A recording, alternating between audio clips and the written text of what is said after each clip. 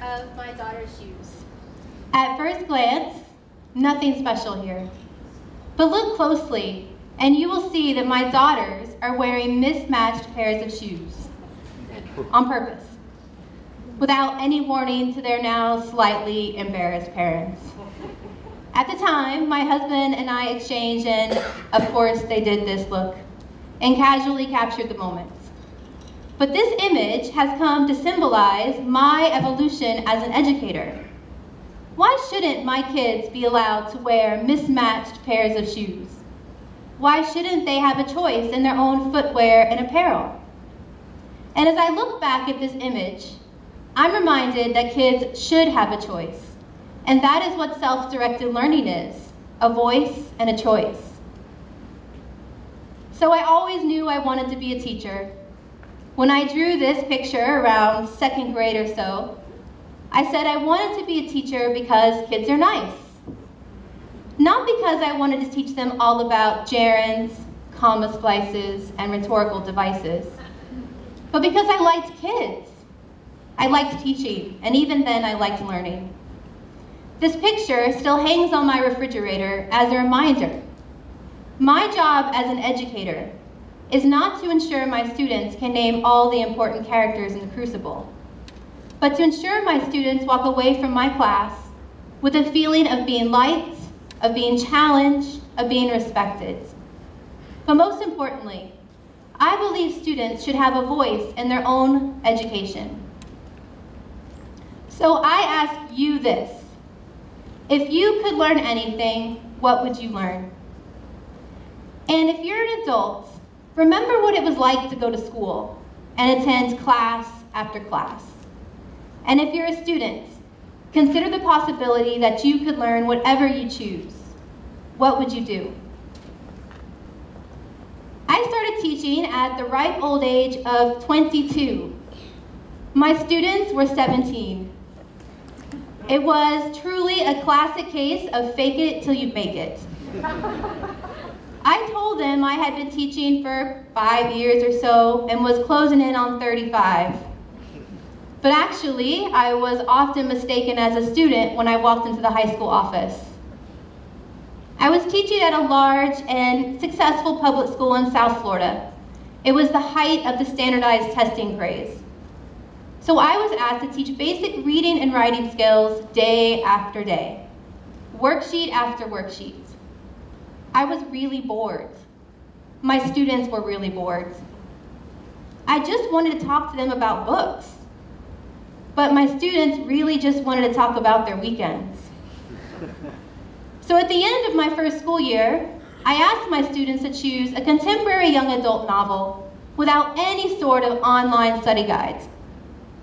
And I watched in awe as they meaningfully engaged in discussion about their chosen books. And when I would check in with them, they would excitedly reveal the latest plot developments. They really liked it. And that's when I first became hooked on student choice. After about three years in Florida, I heard of international education. So I took a job in Korea at a school that promised hiking and social events on the weekends. I was young, I was excited for a new challenge. I was given a brand new MacBook Pro for the first time, and a team of seasoned educators taught me about formative and summative assessments. And I was introduced to projects, fun projects, like book and movie trailers, songs from GarageBand and podcasts. And as I worked with my students, I still felt like I wasn't giving them enough choice. And even though I learned a lot in those four years in Korea, I still felt like I was dictating the curriculum. I still, like, I still felt like I was telling my students what they had to learn, with little choice in the process. So I'd like to tell you about an experiment that was conducted in 1999 by Sugata Mitra in Delhi. His team connected 100 internet-connected PCs and local alleys for the kids to play with. A hidden camera filmed everything. They watched as these kids taught themselves how to use the computer without any help, and then taught each other. This became known as the hole in the wall experiment. But I like how Mitra refers to it as minimally invasive education. What this experiment taught us is that we already know how to learn. We are already naturally curious individuals. Winston Churchill said, I'm always ready to learn, but I do not always like to be taught. I really like this quote because ironically enough, as a teacher, it pretty much sums up my personality. And probably a lot of the students I've taught over the years. You see, I do love to learn. I'm a voracious learner. But when you tell me that I have to learn something, I'm not quite as interested anymore. And I wonder if as an adult, as a teacher, I feel this way. Do my students feel this way as well? So now I'm going to say the cliche, I became a mom and it changed my life. I was truly terrified.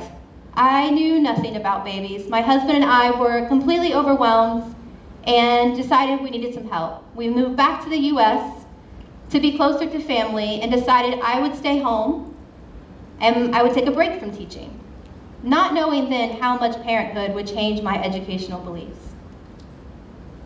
Janet Gonzalez Mena says, the moment I decided to follow instead of lead, I discovered the joys of becoming a part of a small child's world. You see, I watched as my daughter taught herself everything she needed to know how to do. How to roll over, how to crawl, how to stand, how to walk, how to talk. And with the talking, as with so many kids, came the questions. Hey mom, how do rockets get to space? Hey mom, what is, what is our skin made of? Hey mom, where, where do babies really come from? And Google became my new best friend. I learned right along with her, and now my youngest daughter, as we explored their questions. You see, I followed them on their learning journeys. I stayed home with my daughters for three years, and this is what I learned by watching. We truly learn what we want to learn. It can't be forced and it can't be dictated. Our job as people, as educators, is to provide the opportunities for students to take responsibility for their own learning, to become self-directed learners, just like you and me. So I ask you again, if you could learn anything, what would you learn? And imagine walking into a building where you have the time to learn whatever you choose. No course schedule, no textbooks, no expectations. What, what would you do? I would like to take a couple of minutes and talk to you about two alternative models of education.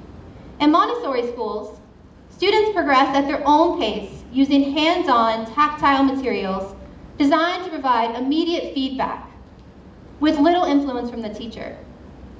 They are given time, plenty of time, to follow their interests and explore the materials in the classroom that most engage them.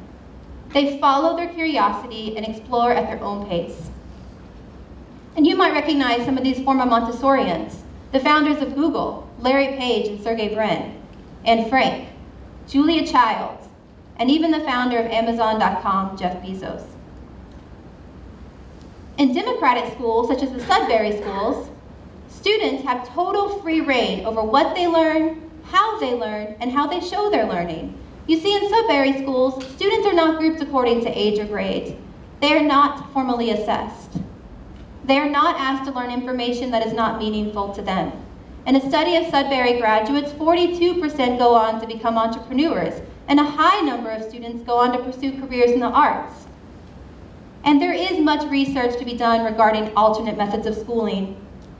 But the principle remains the same. Students do want to learn when they have that choice.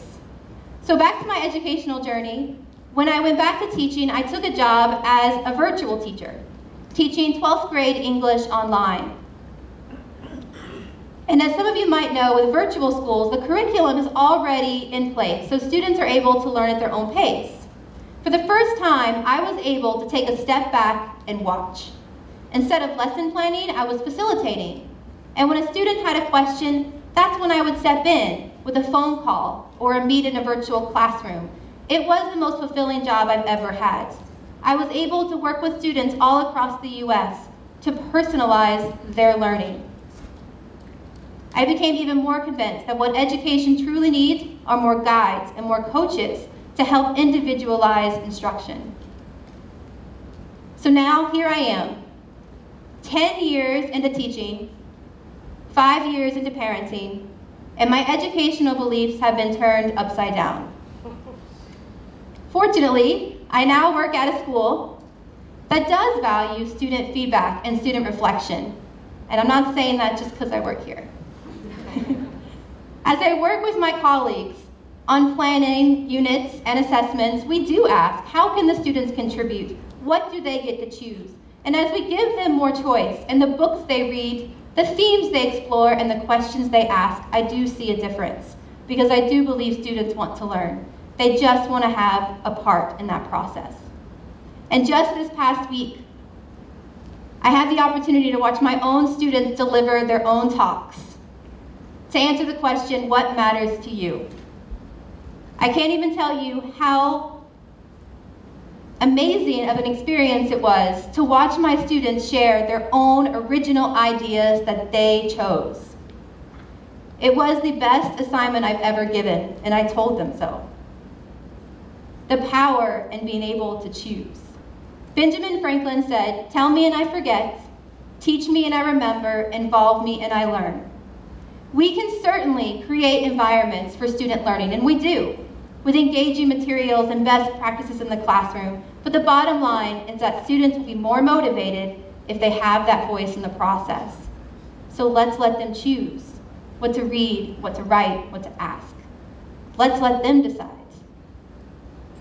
So what can we do? How can we incorporate self-directed learning into our schools? It takes a community to educate a child, and we can all play our part. So educators, let's ask our students to pose the questions.